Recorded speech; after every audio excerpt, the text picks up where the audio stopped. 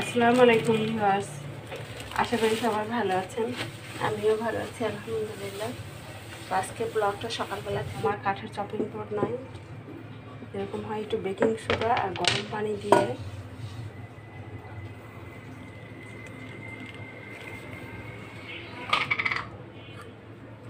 প্রথমে একটু baking soda ছিটাই নেব।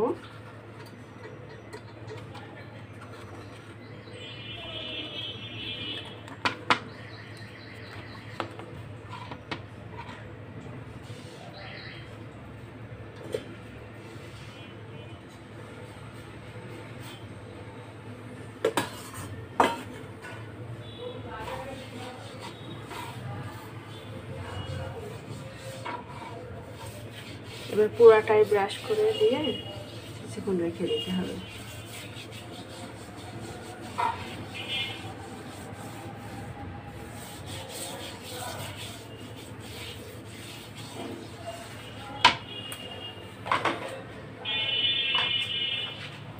একটু লেবুর রস।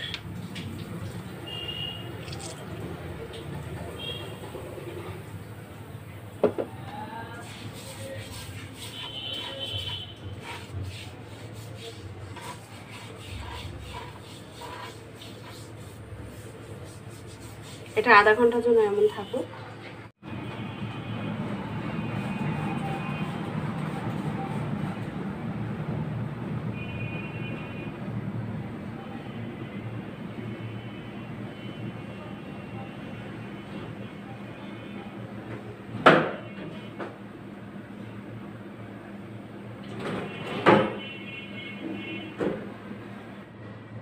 হ্যাঁ, গ্লাসগুলো একদম সুন্দর করে পরিষ্কার করা হয়ে গেল। এখন দেখতে ভালো লাগছে, চকচক করছে এই সঙ্গে ফ্রিজটাও পরিষ্কার করে ফেললাম এখন এই গাছটা পরিষ্কার করে ফেলতে হবে গাছের পাতাগুলো খুব নোংরা হয়েছে।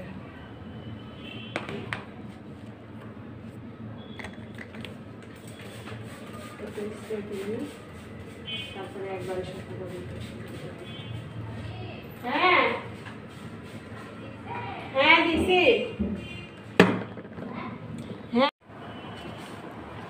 এখন একদম পরিষ্কার লাগছে গাছটা দেখতে?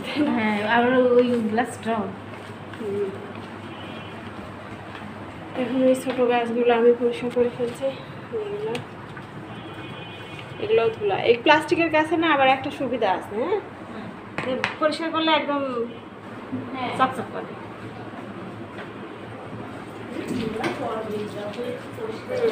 এক সপ্তাহ দশ দিন পর পরে হচ্ছে এগুলো ইয়ে লাগে।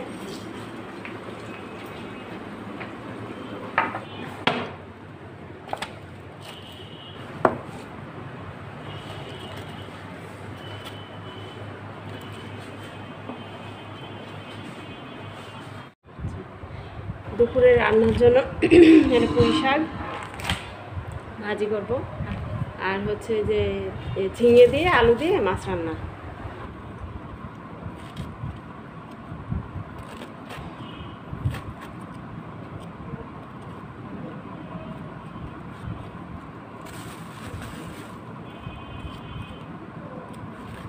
রান্না হয়ে গেছে? হ্যাঁ ভাবে নাইট ডিউটি করে আসলাম, এসে বেশি হয়ে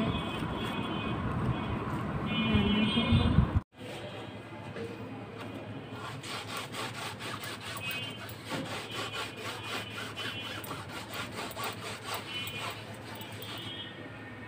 এই যে ধোয়ার পরে যতটুকু হয়। আর একটু ভালো করে উঠলে আরও হয়তো আর আর ভালো লাগছে না।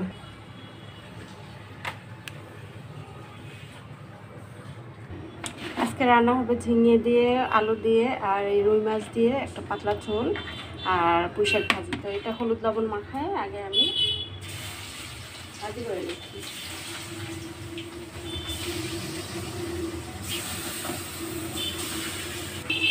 এদিক থেকে মাছ ভাজা হোক আর এদিক থেকে আমি ভাতটা উঠাই দিলাম।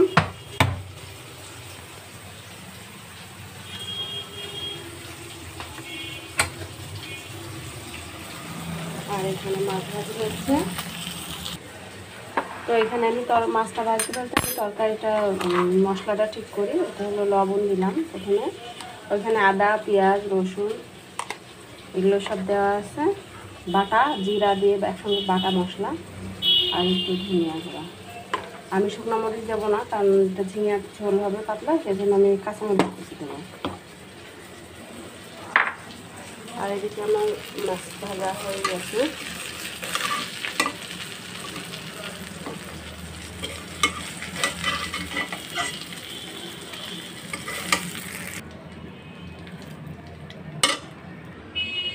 এদিকে আমি মশলাটা দিয়ে দিলাম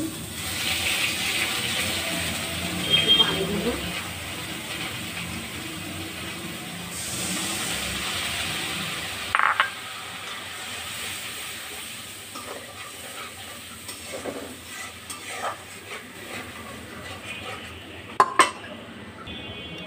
আর যে কাঁচামরিচ দেওয়া হয়েছিল না কাঁচামরিচগুলো দিয়ে দিলাম। কষানো হয়ে গেছে এবার আমি ঝিঙে আলু এগুলো দিয়ে দিলাম। তো ওই চুলায় আমার ওই তরকারিটা হোক আর এই চুলায় হচ্ছে আমি পুঁই শাকটা দিয়ে দেবো।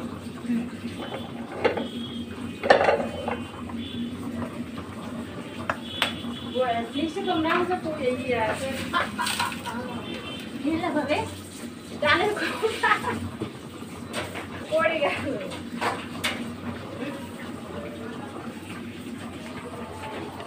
কি হলো দেখো? ডালের কৌটা পড়ে গেছে।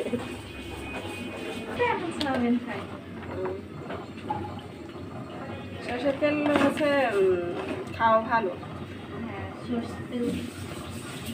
গ্যাস হয় না।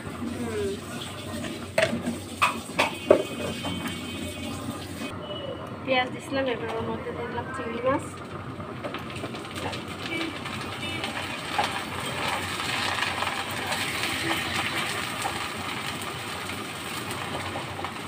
চিংড়ি মাছটা ফ্রিজে ওখানে ছিল। এখন বের করে নিয়ে দিলাম মশলা, আদা, পেঁয়াজ, রসুন বাটা। পেঁয়াজ, রসুন, আদা, তারপর জিরা একসঙ্গে বাটা।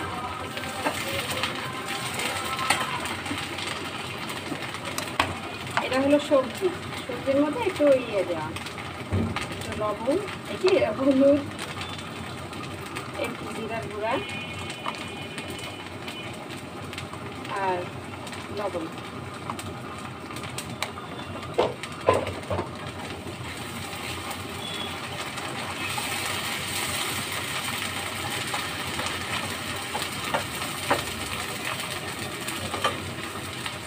তো আলু কাটলে কুচি আর হচ্ছে কাঁচামরিচ একসঙ্গে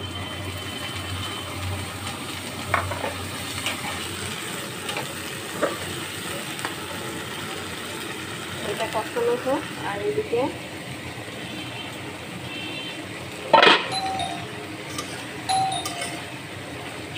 ঝিঙে দিয়ে যে আলু মাছ দিয়ে করব সেটা। ওইটা দেখি কতদিন এটাও সিদ্ধ হয়ে আসছে। এবার আমি মাছগুলো দিয়ে ঝোলের পানি দিয়ে দেবো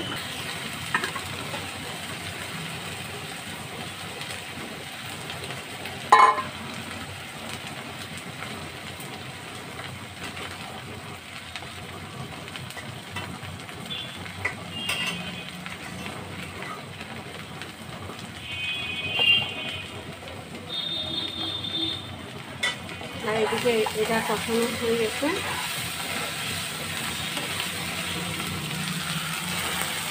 এটা কষানো শেষ। আর এদিকে এটা পানি দিয়ে দিচ্ছি।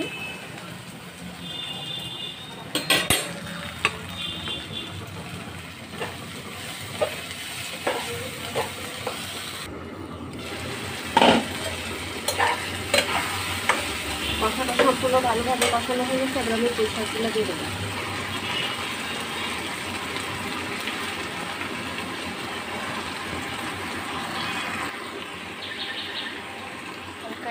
দিয়ে এবার এটা ঢেকে রাখব।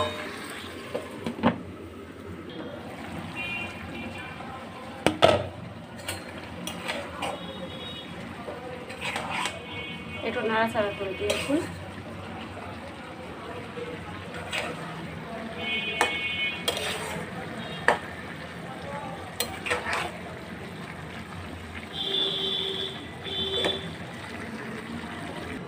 আর এই তরকারিটা শেষ। ঝোল আর ওটা হচ্ছে বেসিনে থালা বাসন আছে এগুলো এবার ধুয়ে ফেলব। আর এমনি কাউন্টারটা এমনি গুছাই ফেলেছি। আর এদিকে বৃষ্টি হচ্ছে আমার আদা কুচি কুচি করে দিচ্ছে। যেটা আদা না আলু ভাজি বানাবে এটা এটা এখন ওভেনে গরম হবে। লেবু মাথায় দিয়ে এটা গরম হবে এখন। লেবু আর একটু বিট লবণ দিয়ে। আদাগুলো খুব সুন্দর। কুচি করেছে বৃষ্টি এই জন্য তোমাকে ধন্যবাদ। থ্যাংকস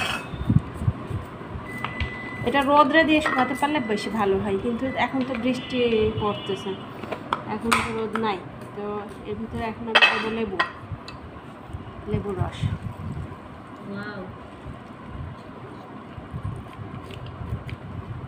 মনে আছে এমনি এমনি খাই হ্যাঁ? কি গ্রান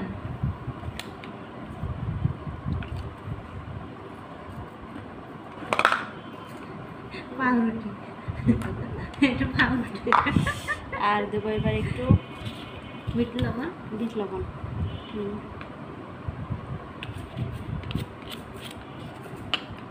দিয়ে এটা কি তৈরি হবে ভাবি? এটা এখন এমনি এমনি খাওয়া হবে।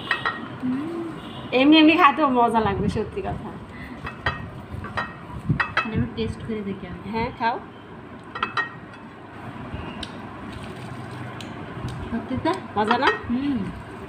আর এটা দিয়ে মুড়ি মাখানো কিংবা এমনি যে ছোলা মাখানো আবার ভাতের সঙ্গেও খাওয়া যাবে। তো এটা এখন আমি ওভেনে দেবো।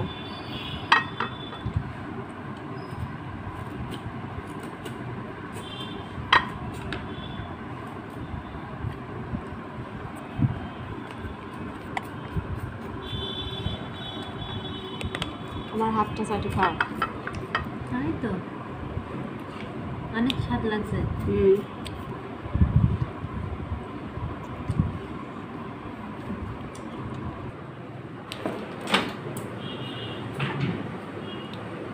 এটা ওভেনে দেবো। প্রথমে আমি হচ্ছে এটা পাঁচ মিনিট দেবো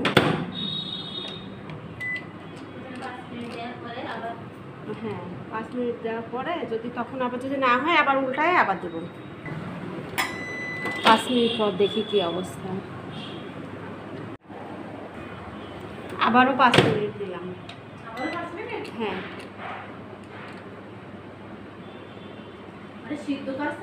ওদিকে আদাটা দিয়ে আসছে এদিকে পুঁই শাকের কী অবস্থা দেখি।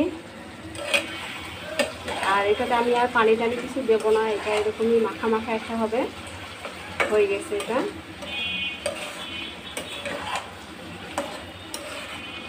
এই যে চিংড়ি মাছ কাঁঠালের বিচি।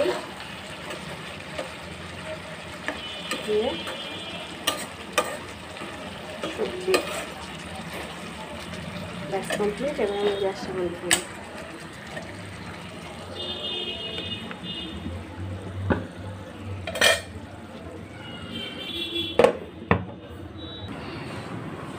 পাঁচ মিনিট হয়ে গেল এবার দেখি কি অবস্থা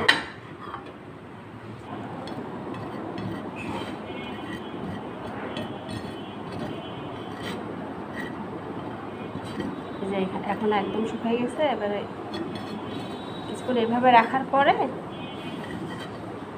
খুলে রাখলেই হয়ে যাবে।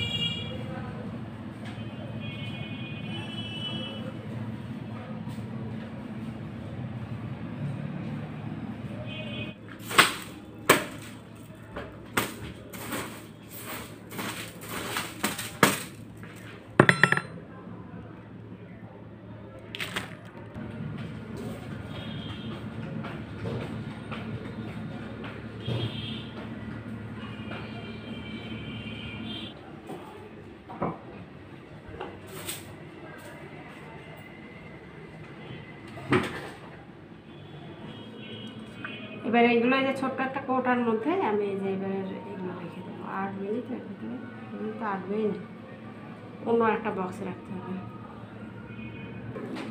এই যে এটার মধ্যে আটবে এটার মধ্যে এই।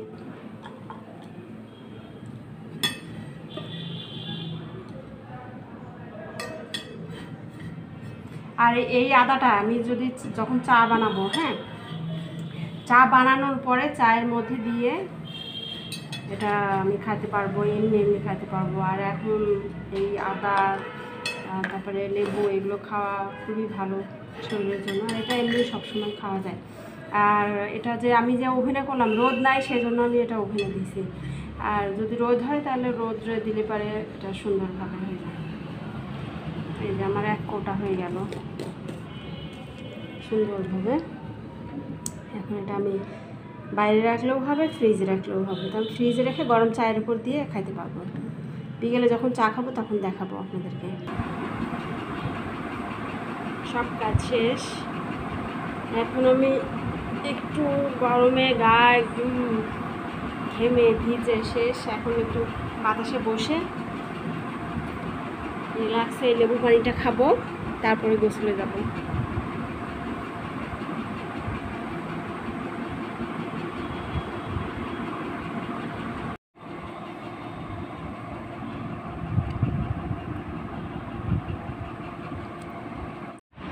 এখন আমরা দুপুরে খাওয়া দাওয়া করছি। আজকে খাওয়া দাওয়া কি ছিল? কাঁঠাল দিয়ে, বিচি দিয়ে, কাঁঠালের বিচি দিয়ে, পুঁই শাক, চিংড়ি মাছ, আলু, একটা সবজি। মাছ, বৃষ্টি চোর ঘণ্টা দিয়েছে ওটা। তো আজকের ব্লগটা এই পর্যন্তই। ভালো থাকুন সবাই। আল্লাহ হাফিজ সবাইকে।